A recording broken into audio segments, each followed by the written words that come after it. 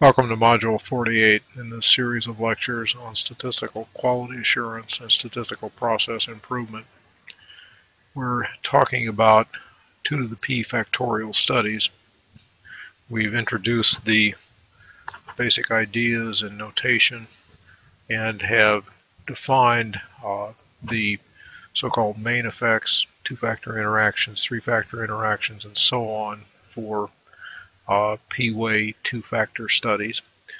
Uh, in this module, we're going to uh, talk about a, a, a very slick uh, little algorithm called the Yates algorithm uh, that can be used to compute uh, the effects in the fitted effects in a factorial study. not so much because it's something that is better than using uh, a spreadsheet or a computer program to do the computation. Uh, but because of intuition that it provides and uh, it and and, a, and the kind of uh, kind of layout of the effects that it that it provides. So here's the basic idea. Uh, if we're talking about two to the p studies, uh, we really only need one fitted effect of each type. So for example, if I have A number 2, then A, A number 1 is minus A number 2.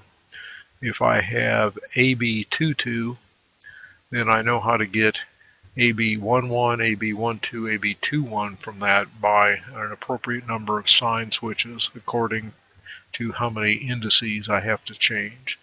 If I have the three-factor interaction ABC222, um, then I have all eight of the uh, ABC three-factor interactions again by an appropriate number of sign changes according to how many indices I have to switch going from uh, 222 to the uh, particular combination that's a, that, that's of interest.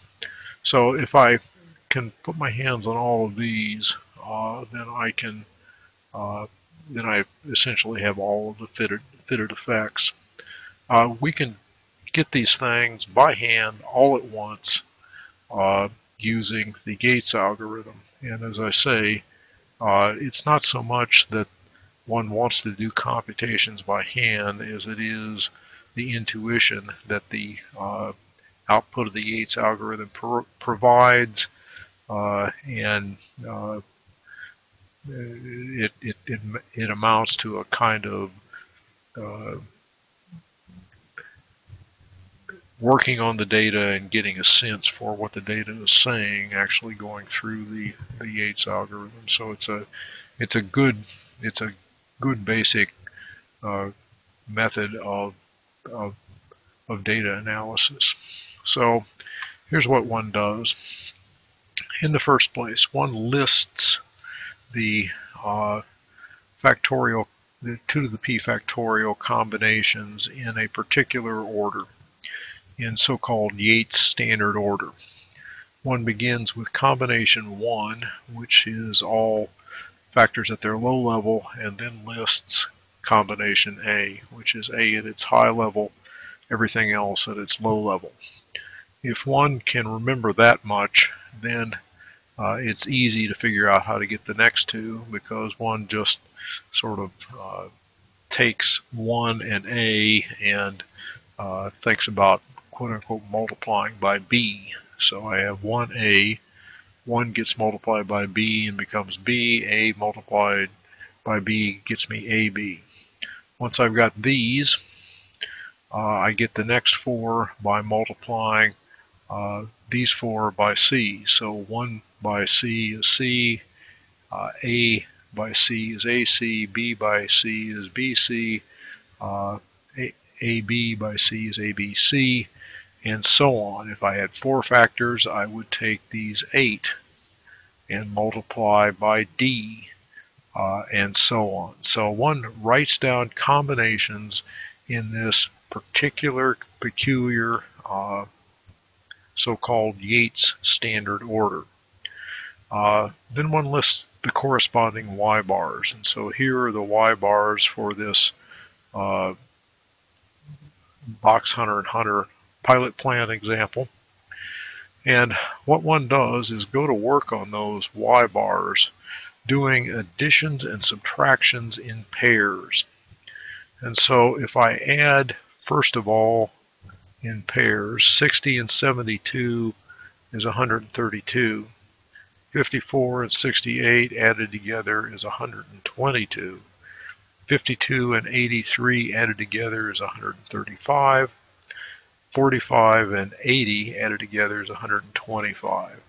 So I'm going to do additions and subtractions in pairs. I've just done all the additions for that first column, for that column of Y bars. Now I do subtractions, uh, and here's the only place that uh, you can really sort of get confused or messed up here. Um, one wants to do subtraction, subtracting the top value in a pair from the bottom. So 72 minus 60 is 12. 68 minus 54 uh, is 14. 83 minus 52 is 31. 80 minus 45 is 35. That is quote unquote cycle one of the uh, Yates algorithm for a three-factor study.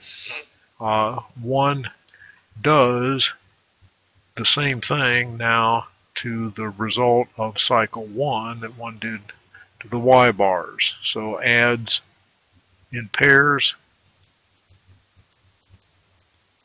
to get these numbers, then subtracts in pairs, subtracting the top guy from the bottom guy, so 130 122 minus 132 is minus 10, and I've got to be careful to carry that sign. 125 minus 135 is again minus 10. I have to record the sign. 14 minus 12 uh, is 2. 35 minus 31 is 4. That is a second cycle. I make the number of make a number of cycles equal to the number of factors. So if I'm doing analysis of a uh, 2 to the 3 factorial, uh, if I have three factors, then I need to make three cycles. And so here is the third cycle of the Yates additions and subtractions. And now I'm going to divide by, I'm going to divide the results in this column by 2 to the p. So for this uh, particular uh, example, we have three factors, so I'm going to divide by 8. 514 divided by 8 is 64.25. 92 divided by 8 is 11.5, and so on. Now, what's really interesting and quite slick about this is that what I've just produced by taking cycle number 3 and dividing by 2 cubed. If there were 4 factors, it would be cycle number 4 divided by 2 to the 4th. If there were 5, it would be cycle 5 divided by uh, 2 to the 5th. Is the grand average A number 2, B number 2, AB22, C number 2, AC22, BC22, and ABC222.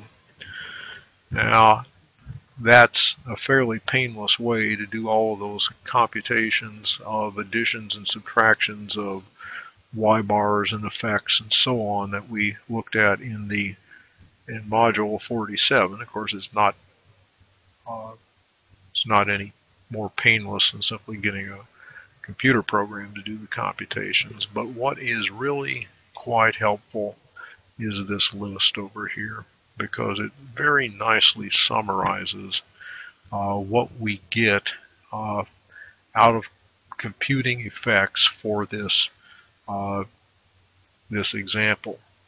Uh, I can easily look down this list of numbers and say, well, what's the biggest thing going on here? Well, the biggest thing going on seems to be this A2, this A main effects.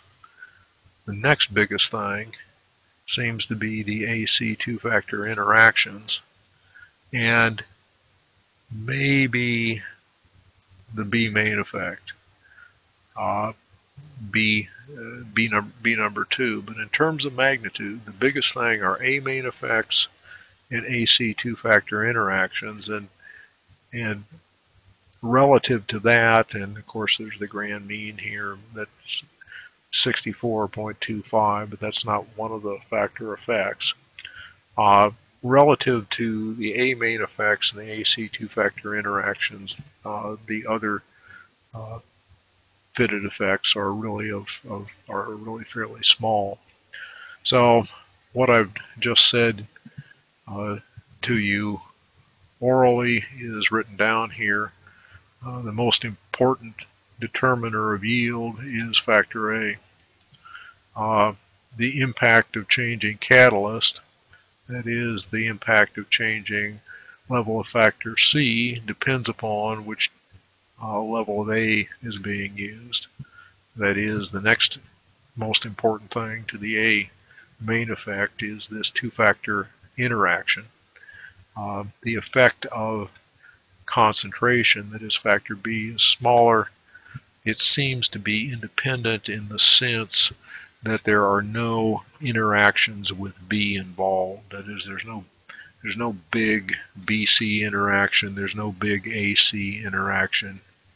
I'm sorry. There's there's no. Let's try that again. There's no big interactions with B, and so there's no uh, big BC interaction, there's no big AB interaction, there's no th big three-factor interaction involving B.